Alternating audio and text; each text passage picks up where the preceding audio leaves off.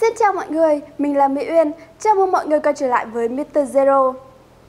Neymar và Mbappe top 10 kỹ thuật và bàn thắng khó tin. Bộ đôi Neymar và Mbappe đang được lôi kéo mạnh mẽ để rời thành Paris.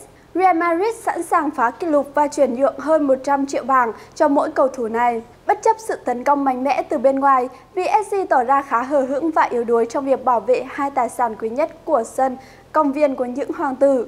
Nhà vô địch Pháp phải đối đầu với đòn tấn công khác từ UEFA vì phạm luật công bằng tài chính, điều khiến họ buộc phải bán đi cầu thủ để cân bằng cán cân mua bán.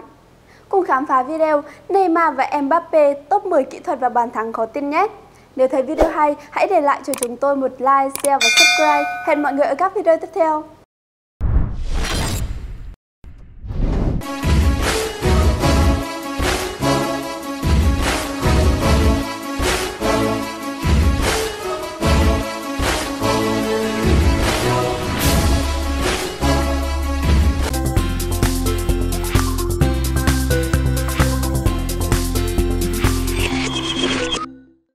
Để hiện thực hóa mục tiêu xưng bá nước Pháp cũng như châu Âu, giới chủ của Paris Saint-Germain đã đầu tư không ít tiền của để đội bóng này chiêu mộ các ngôi sao. Trong đó, không thể không nhắc đến hai bông tướng đắt giá nhất trong đội hình là Neymar và Kylian Mbappe. Neymar cập biển sân công viên các hoàng tử vào hè 2017 với giá 222 triệu euro, còn Mbappe là 180 triệu euro. Sau gần 3 năm, tin chuyển nhượng về việc Barcelona muốn đưa Neymar trở lại xuất hiện không ngớt. Tiên đạo người Brazil cũng được cho là rất hối hận khi quyết định đến PSG và rất muốn quay lại sân Camp Nou để tái ngộ Lionel Messi cùng Luis Suarez. Trong khi đó, Mbappe lại bị đồn đoán với Real Madrid bởi huấn luyện viên Zinedine Zidane đã mến mộ tài năng của sao trẻ người Pháp từ lâu. Không biết tương lai rồi sẽ đi về đâu. Tuy nhiên, hiện tại bộ đôi này vẫn cho thấy họ là cặp song sát đáng gờm như thế nào trên sân cỏ. Trong nhiều trận đấu, Neymar với Mbappe phối hợp 1-2 biến cả hàng phòng ngự đối phương trở thành khán giả, làm nền cho những pha truyền bóng kỹ thuật của mình. Những pha bóng làm liên tưởng đến những pha phối hợp chỉ có trong trò chơi điện tử. Không chỉ phối hợp nhuần nhuyễn với nhau, bộ đôi này còn đặt những cầu thủ tấn công khác của PSG vào tư thế không thể không ghi bàn. Tất cả những điều đó sẽ được tổng hợp đầy đủ thông qua video ngay sau đây. Neymar và Kylian Mbappe top 10 kỹ thuật và bàn thắng khó tin.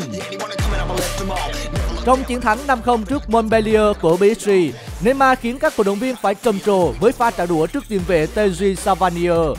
Savanier trước đó đã lao tới đập Neymar, song cầu thủ người Brazil không có phản ứng gay gắt. Trọng tài cho Paris Saint-Germain được hưởng quả phạt và Neymar lập tức dẫn bóng trước khi thực hiện một loạt động tác đảo chân kỹ thuật và vượt qua chính Savanier. Chứng kiến pha trả đũa khôn ngoan này của Neymar, những cổ động viên không giấu được sự thích thú và phải thốt lên pha trả đũa hoàn hảo. Nói không qua khi cho rằng League One chỉ là một chế độ chơi game easy đối với Neymar.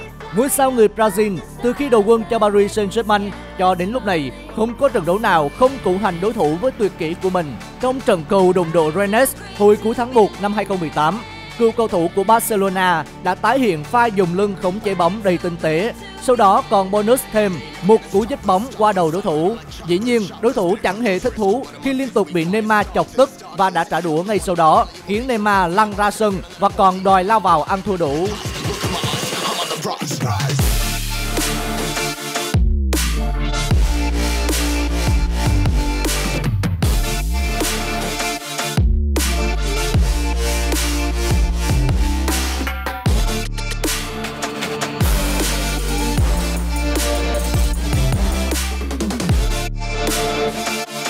Cuộc đối đầu giữa Paris Saint-Germain với Cannes tại vòng 19 League One mùa giải 2016-2017 đúng vào ngày sinh nhật lần thứ 19 của Mbappe. Sau trải người Pháp kỷ niệm ngày đặc biệt của mình với mái tóc màu bạch kim khá nổi bật cùng màn trình diễn trên sân không thể chê vào đâu được. Đặc biệt ở bàn thắng mở tỷ số, Mbappe đã cho thấy vì sao PSG đã phải tìm đủ mọi thủ đoạn cùng 160 triệu euro để đưa anh về sân công viên các hoàng tử từ gần giữa sân, với sao trạng người Pháp qua người khéo léo, tăng tốc như một chiếc Ferrari trước khi truyền cho Cavani để chân sút người Uruguay đánh gót điều nghệ tôm lưới Caen. Như bao cầu thủ Brazil khác, Neymar chịu ảnh hưởng rất nhiều từ phong cách bóng đá đường phố, một thứ bóng đá phóng khoáng, tràn đầy đam mê và không kém phần ngẫu hứng. Dù đã chơi bóng chuyên nghiệp suốt 8 năm, bản năng này ở Neymar vẫn không hề mất đi.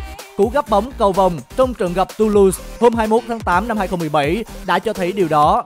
Phút 90, khi mà PSG đã nắm chắc phần thắng trong tay, cựu cầu thủ Barcelona đã lại một lần nữa biểu diễn kỹ thuật gấp bóng qua đầu đối phương. Pha trình diễn này của Neymar đã khiến cho Corentin Zin, tiền đạo Toulouse bị Neymar xỏ mũi phải nhận một thẻ vàng vì hành vi cố tình ngăn cản ngôi sao người Brazil đi bóng.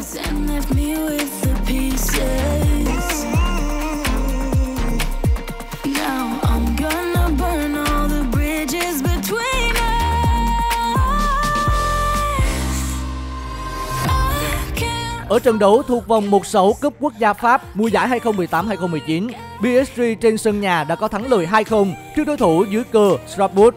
Cầu thủ đắt giá nhất thế giới Neymar đã chính, song không để lại dấu ấn nào ở các bàn thắng. Tuy nhiên, ngôi sao người Brazil vẫn khiến người ta phải nhớ đến mình vì hai tình huống.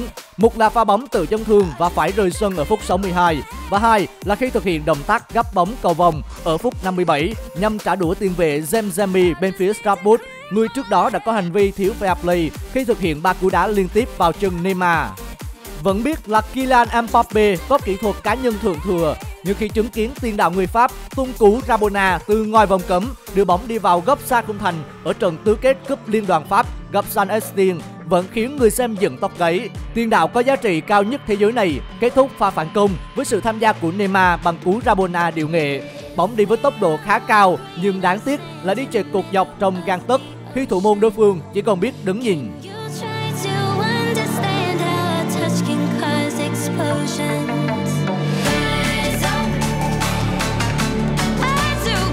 Trận giao hữu giữa tuyển Nga và tuyển Pháp hồi tháng 3 năm 2018 thực sự là màn trình diễn của Kylian Mbappe.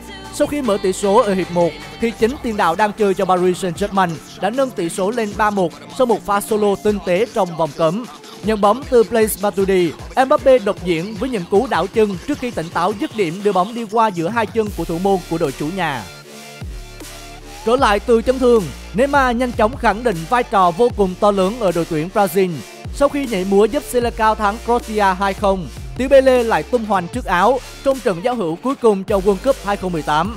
Thế nhưng, phải chờ đến phút 63, điều mà những cổ động viên Brazil mong đợi nhất cuối cùng đã đến. Ngôi sao sáng giá nhất trên sân, Neymar, sau một pha độc diễn ngoạn mục, đã mang về bàn thắng nhân đôi cách biệt cho Selecao. Chân sút Kylian Mbappe của Paris Saint-Germain vừa tạo ra cơn ác mộng với các đồng nghiệp bên phía Lyon sau khi anh tỏa sáng với một cú hat-trick trong ba bàn thắng của Mbappe thì có một tình huống anh xúc tung lưới đối phương sau pha mở tốc độ chẳng kém vận động viên Điền Kinh.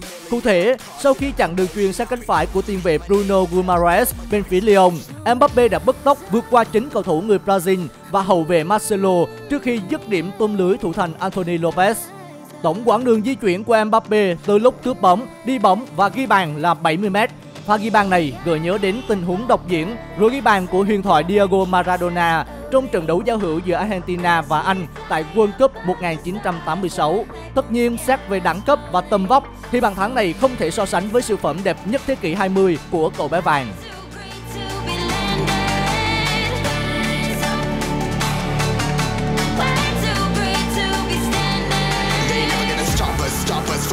choppers, choppers Better took those risks, Cold blood in my fists We fire starters, starters One out of a million we'll reach those heights Always had a feeling that I won't deny that Neymar chính là gương mặt nổi bật nhất trong trận đấu giữa Barcelona và Juventus hè 2017 khi lập hẳn một cú đúp toàn siêu phẩm. So với bàn đầu tiên, bàn thứ hai của Neymar mang nhiều dấu ấn cá nhân hơn.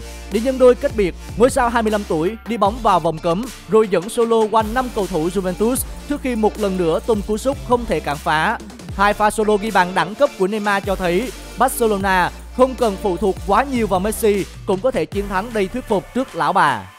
Trước Saint Etienne thi đấu phòng ngự quá tốt, Paris Saint-Germain đã bế tắc trong suốt trận đấu. Rất may, Mbappe đã tỏa sáng đúng lúc, giúp đội bóng của mình giành 3 điểm nghẹt thở. Phút 73, thủ thành Rufier đã có pha phá bóng không tốt, bóng đến chân của Dani Alves, cầu thủ người Brazil đã thực hiện đường truyền tinh tế để Mbappe vô lê một chạm tung lưới Rufier. Bàn thắng bởi tỷ số quý giá này đã giúp cho PSG nhẹ gánh và dễ chơi hơn rất nhiều sau đó.